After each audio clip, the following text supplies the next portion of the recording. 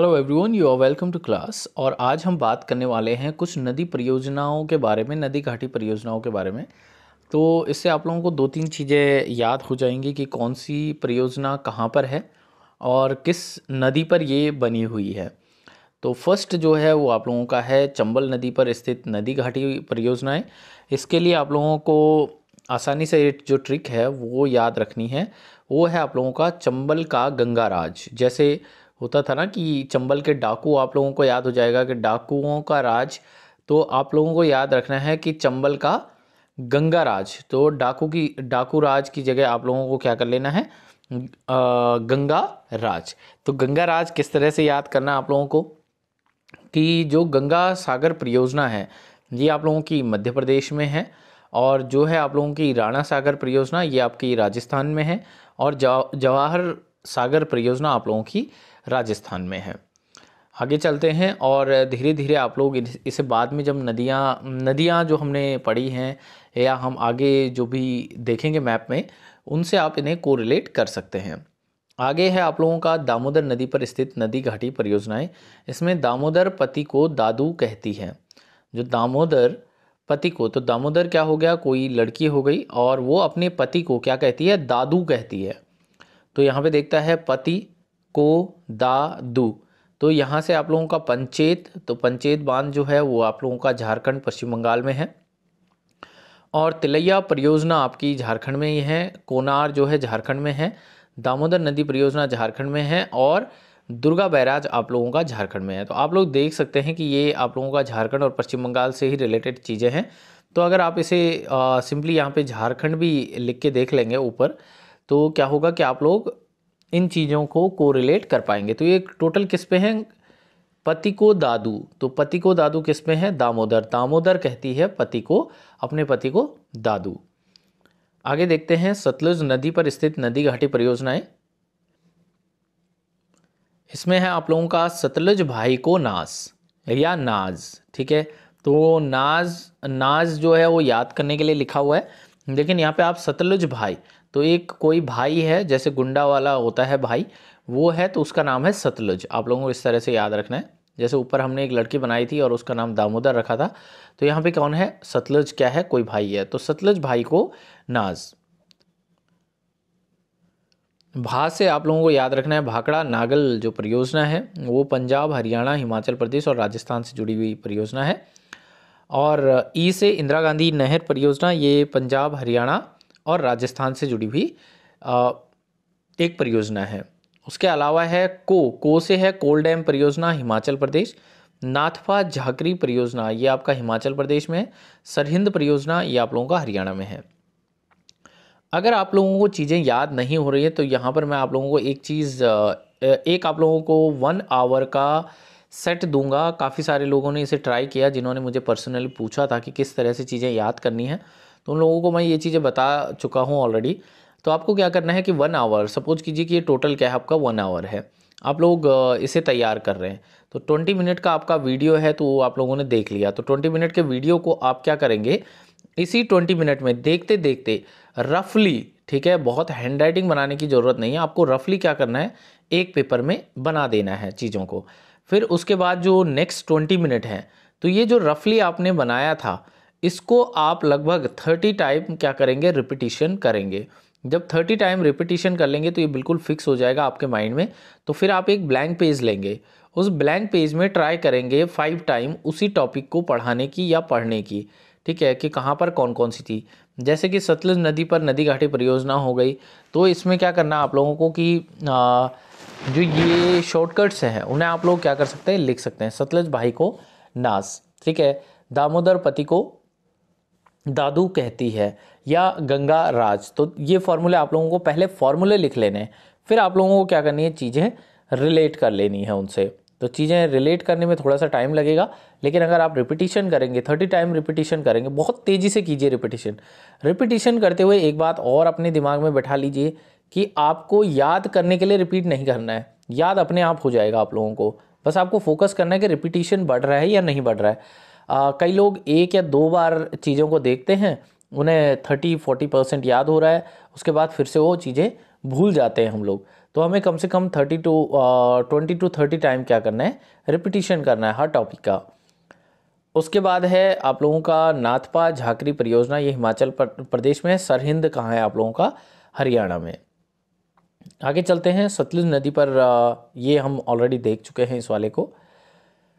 और यहाँ पर है आप लोगों का जो जितनी ऊपर आप लोगों ने देखी होंगी तो अगर आप उन चीज़ों का रिपीटिशन करेंगे ऊपर तो कहीं ना कहीं दिमाग में वो चीज़ें वोकेबलरी बैठ जाएगी।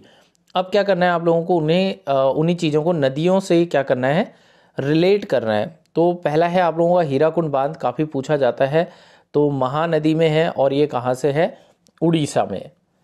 तो इसकी जो ट्रिक है, वो है आप लोगों का महान महान हीरा, ठीक है? आप लोगों को याद रखना है, महान हीरा महान हीरा महान हीरा, इस तरह से आप लोगों को याद करना है इसे। उसके बाद है नागार्जुन, ये आपका कृष्णा नदी पर है और आंध्र प्रदेश में है।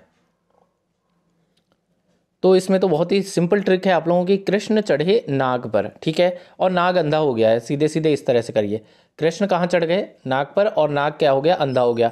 तो ऊपर का जो कलेक्शन मैंने बनाया है चाहे आप उसे ट्रिक वहाँ या उस ट्रिक से याद कर लीजिए चाहे आप लोगों को ये ट्रिक अगर ज़्यादा पसंद आए तो यहाँ पे भी आप लोग यूज़ कर सकते हैं इसको। उसके बाद है आप लोगों का फ़र्क का बाँध। फ़र्क का परियोजना कहाँ पे आप लोगों को गंगा भागीरथी नद, पर है और ये कहाँ पे आप लोगों के पश्चिम बंगाल में है।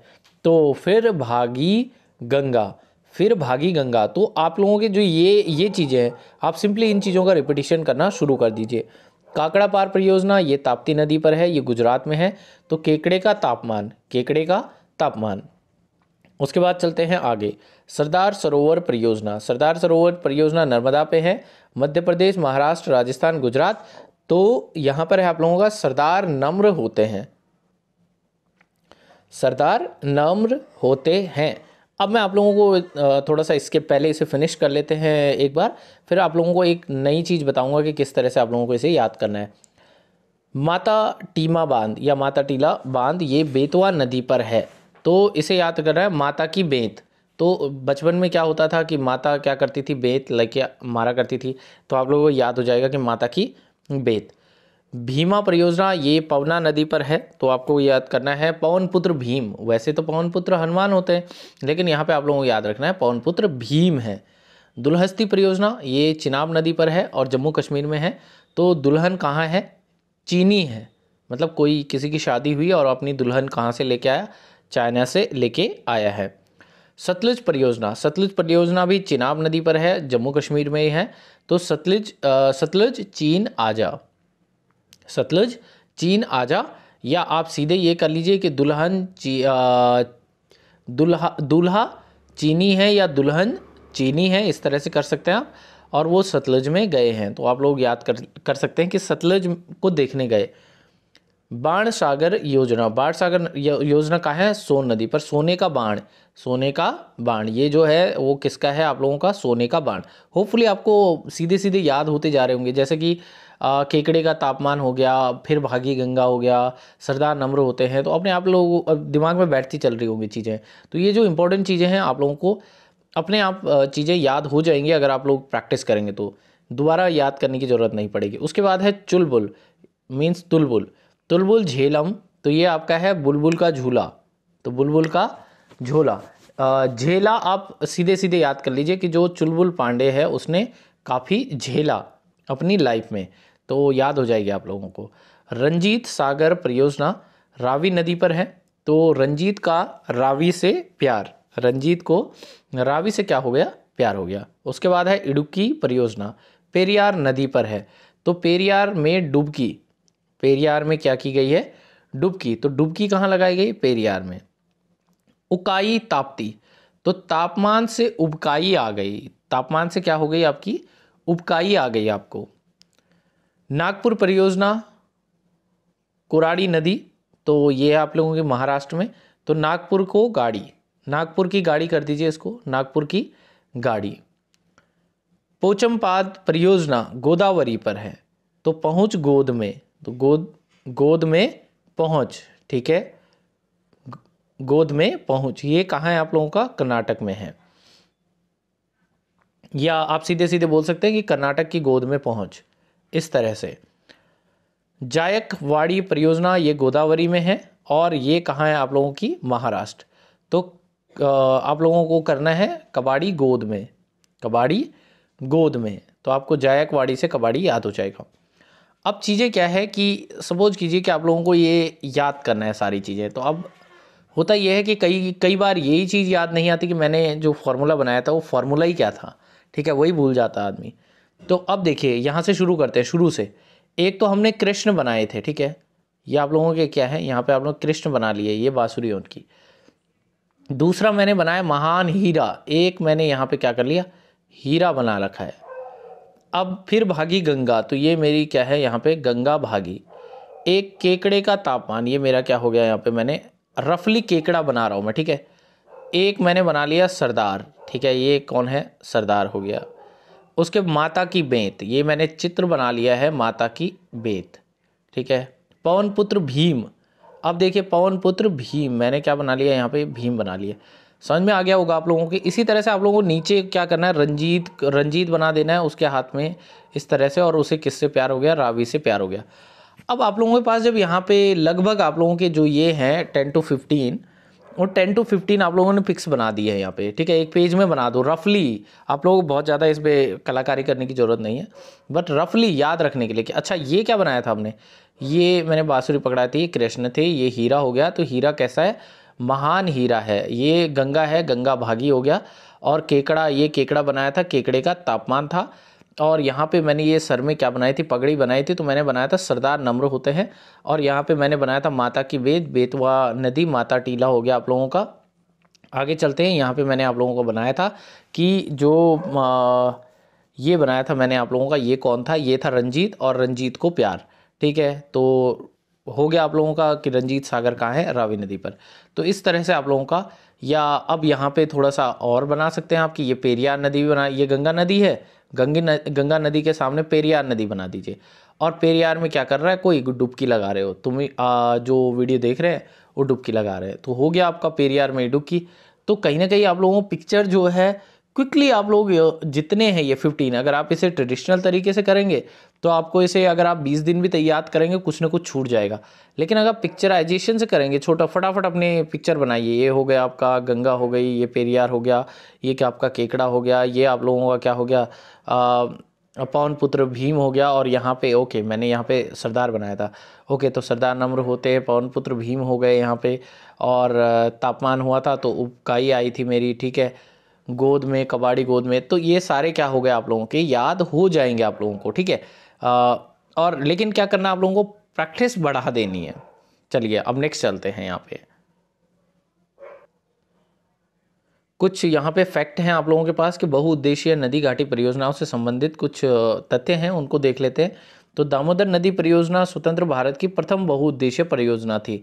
तो दामोदर नदी क्या थी आप लोगों की? सबसे पहली क्या थी? बहुउद्देशीय मल्टीपर्पज़ जो परियोजना थी, वो थी। और इस योजना को अमेरिका की टिनेसी योजना के मॉडल के आधार पर बनाया गया था। टिनेसी योजना, दामोदर नदी को बंगाल का शोक भी कहा जाता है, ये हम ऑलरेडी जानते हैं। पंजाब में सतलज नदी पर स्थित भाखड़ा नागल बाँध परियोजना भारत की सबसे बड़ी परियोजना है। तो भाखड़ा नागल क्या है? सबसे बड़ी परियोजना है। भूकंपीय क्षेत्र में स्थित यह विश्व का सबसे ऊँचा गुरुत्वीय बाँध भी है। तो ये भी आप लोगों को याद रखना है कि सबसे ऊँचा गुरुत्वीय बाँध भी भाखड़ा नागल बाँध भी है और इसकी सहायक जो इंदिरा गांधी परियोजना है, के तहत राजस्थान तक इंदिरा नहर का विकास किया गया है, जो भारत की सबसे बड़ी नहर प्रणाली है। तो इंदिरा गांधी नहर क्या है? आप लोगों की सबसे बड़ी नहर प्रणाली है। बिहार का शोक किसे कहा जाता है? कोसी नदी को कहा जाता है। पर भारत व बंगाल की संयुक्त परियोजना, कोसी परियोजना भी बनी हुई है।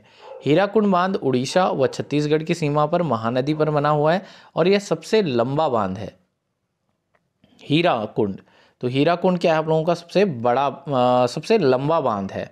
ओके? और आप लोगों को याद रखना है ऊपर जो अभी हमने पढ़ा था ये सबसे बड़ी योजना कौन सी थी? सबसे बड़ी परियोजना आप लोगों की भाकड़ा नागल।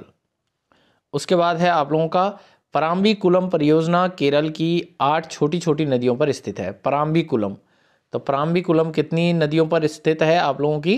केरल की आठ छोटी छोटी नदियों पर। शराबती परियोजना जो है शराबती नदी पर है और शरावती नदी कहाँ पर है आप लोगों की? कर्नाटक पे है। पूर्णा योजना पूर्णा नदी पर महाराष्ट्र में स्थित है। बागी परियोजना मध्य प्रदेश में है। बागी नदी पर ही है। तो ये आप लोग देख सकते हैं कि ये आप लोगों को आ, सीधे राज्य याद रखने हैं। बाकी ये आप देख सकते हैं उसी पर है।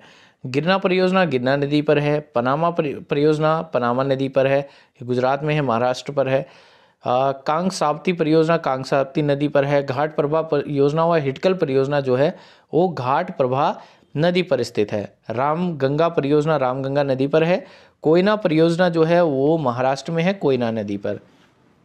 कुंडा परियोजना जो है, वो आप लोग देख सकते हैं, तमिलनाडु में है तुंगभद्रा तुंगभद्रा नदी पर आंध्र प्रदेश व कर्नाटक की संयुक्त परियोजना है। मयूराक्षी परियोजना जो है, वो आप लोगों की पश्चिम बंगाल में है। मयूराक्षी नदी पर गंडक परियोजना आपकी गंडक नदी, बिहार व नेपाल की संयुक्त परियोजना है। तो अगर आप लोग देखेंगे तो ये वाला आप लोगों को सिर्फ़ नदी क्या करना है? नदी तो ऑलरेडी परियोजना के नाम पर ही है। तो सीधे आप लोगों को याद करना है कि जो उसके राज्य हैं। और बाकी ऊपर मैं आप लोगों को बता चुका हूँ। कि जो योजनाएँ हैं, उनके शॉर्टकट्स हम लोगों ने देखे हैं। लगभग 50 परसेंट आप लोगों को याद हो गया होगा होपफुली और बाकी आप प्रैक्टिस करेंगे 20 मिनट भी प्रैक्टिस करेंगे तो काफ़ी कुछ आप लोगों को, लगभग 70 परसेंट आप लोगों को बहुत अच्छे से याद हो जाएगा। तो मिलते हैं अगली क्लास में, तब तक के लिए गुड बाय